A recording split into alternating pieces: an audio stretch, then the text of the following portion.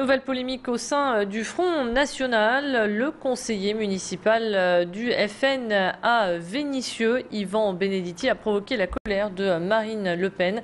Lors d'une interview accordée à des étudiants de l'école de journalisme de Lille, il s'est déclaré antisémite, antisioniste et anti-juif. Cette présentation n'a pas vraiment plu à Marine Le Pen qui a décidé de le convoquer devant une commission de discipline le 16 juin prochain.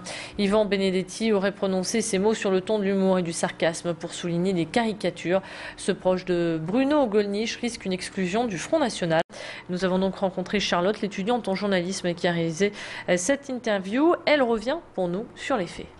Lorsqu'on l'a demandé d'expliquer un peu qui il était, nous a euh, annoncé un peu de but en blanc.